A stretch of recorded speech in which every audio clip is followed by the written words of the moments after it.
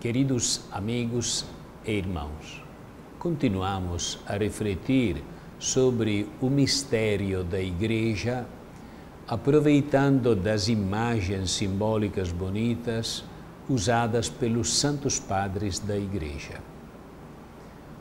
Uma das imagens se refere ao mar, a tempestade, as ondas, as sereias Poderíamos chamar esta nossa reflexão o mistério de Ulisses.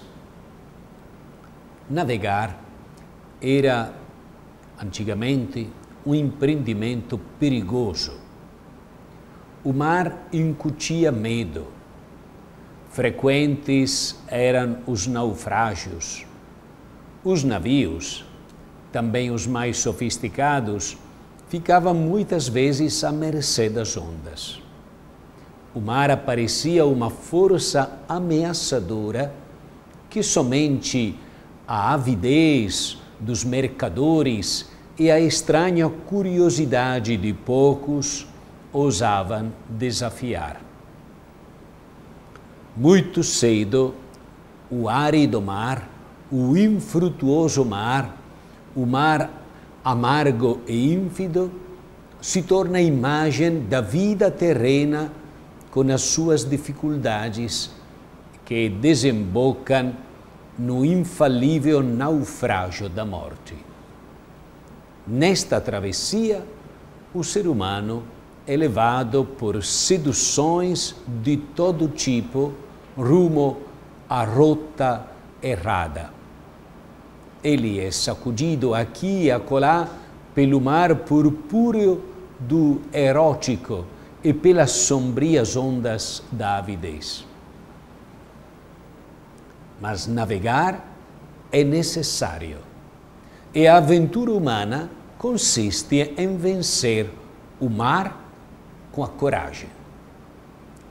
E assim é necessário desfraldar a vela e atravessar o mar admirando este grande sepulcro dos naufrágios. Os cristãos vivem neste ambiente cultural, mas sabem algo a mais. Sabem que os espera o porto da eterna salvação, como sabem de ter na igreja um navio seguro. Igreja significa navegação rumo ao céu. Igreja é viagem perigosa e ao mesmo tempo maravilhosa.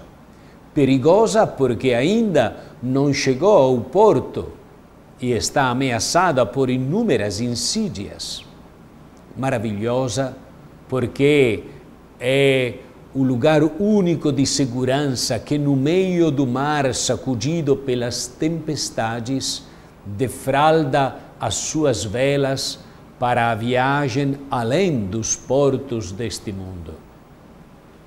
Este navio, que é a Igreja, é construído com o madeiro da cruz e o seu retorno à pátria está garantido pela árvore com a qual o sustento da vela, colocado transversalmente, forma a cruz. A igreja é um navio que enfrenta contínuas ameaças, mas é somente nela que sobrevivemos às maiores tempestades e às sedutoras tentações da viagem da vida, até a entrada no porto seguro. O cristão atravessa o mar bravo deste mundo numa agitada segurança, somente quando se agarra na árvore do seu navio, quando abraça a cruz do Senhor que está levantada no meio da igreja. Diante do cristão que navega rumo ao porto da eternidade, permanecendo agarrado na árvore da cruz, a reflexão simbólica dos padres da igreja era levada a pensar no mais famoso dos viajantes, Ulisses, que, para não ser vencido pela sedução das sereias, se fez amarrar ao mastro do navio. Toda vez que o mito de Homero é interpretado cristamente, se fala do mar ínfido do mundo, no qual a igreja e o cristão devem viajar para alcançar a pátria. O imortal cântico de Homero contribuiu para que o mito das sereias se tornasse patrimônio comum de todas as culturas. As sereias são representadas como mulheres encantadoramente bonitas, mas cujas prendas mostram a fatalidade dos seus encantos.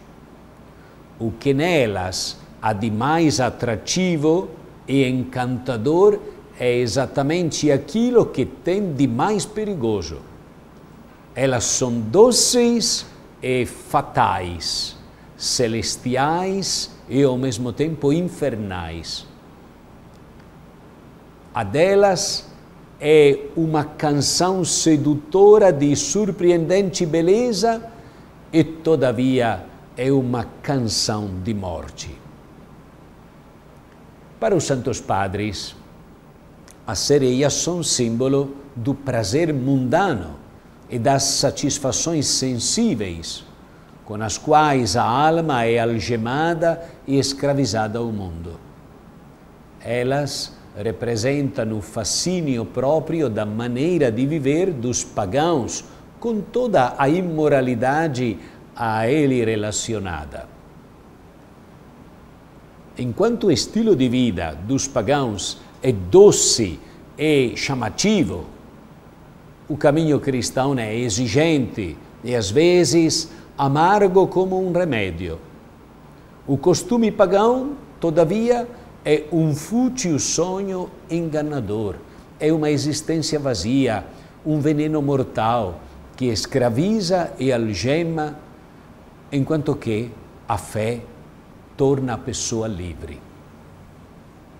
Cristo, a palavra feita carne, assim fala Clemente de Alexandria, nos livrou dos costumes pagãos pela água do batismo e nos chamou a velejar de pé na carena do navio de nosso Senhor Jesus Cristo, rumo ao porto celestial, rumo à visão dos mistérios divinos.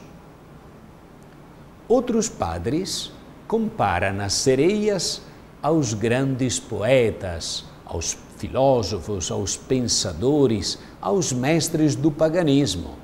Homero, Píndaro, Aristóteles são chamados de sereias sábias. Eles são o símbolo da sabedoria mundana, bonita e encantadora, com a qual precisa confrontar-se e que se torna e que torna a navegação da igreja maravilhosa e ao mesmo tempo perigosa. Eles representam a sedução da razão e da ciência em relação à fé, a beleza do pensamento humano que se abre e desafia a revelação. Diante destas sereias, havia cristãos que recusavam radicalmente qualquer relacionamento com a sabedoria grega, fazendo explícita referência ao mito de Ulisses. Eles tapavam os ouvidos como os companheiros de Ulisses, porque não queriam ouvir absolutamente nada da perigosa sabedoria. Porém, homens como Clemente de Alexandria defendiam o maravilhoso perigo da fé que não precisa deste cego medo. Parece que muitos, dizia ele, muitos cristãos, assemelham aos companheiros de Ulisses, porque se recusando de compreender a realidade da cultura, só se preocupam com a doutrina da fé e desta forma o seu navio consegue ultrapassar as sereias e qualquer tipo de melodia, só porque taparam os ouvidos e rejeitaram toda a ciência. Este pensamento continua sendo atual ainda hoje, porque nós estamos cercados hoje por tantas formas de pensamento humano propostas. Mas nós não podemos desconhecê-las, tapar os olhos e os ouvidos. Como cristãos, nós somos chamados a entender o que de bom tem em tudo e saber depois avaliar e colher o que é de bom para aproveitar para a nossa vida. Por isso, cristãos que tapam os ouvidos, que tapam os olhos, é, que não querem dialogar com o mundo, parece que não sabem colher a presença da ação de Deus no mundo. Esta é lição muito bonita que já alguns santos padres colhiam nos primeiros séculos da Igreja. Que Deus nos abençoe, nos acompanhe em nome do Pai, e do Filho, e do Espírito Santo. Amém.